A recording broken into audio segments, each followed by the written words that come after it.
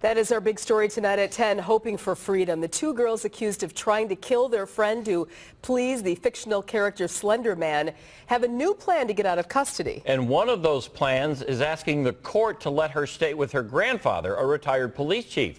Ben Handelman with the motive behind that request.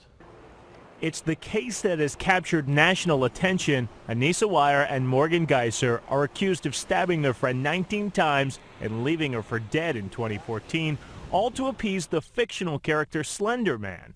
The girls who were 12 at the time are being tried in adult court. On Wednesday, Fox 6 News has learned there are new attempts to get the girls out of custody as they await trial. An attorney for Morgan Geyser filed this letter with the court this week. Geyser's psychologist is expected to testify Friday.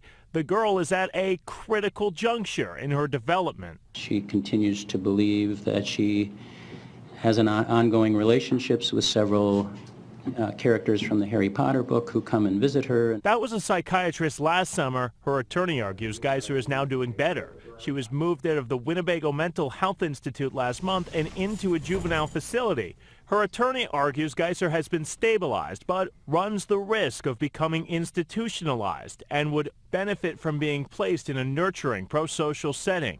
Their plan? Let Geyser live with her grandfather in Manitowoc County.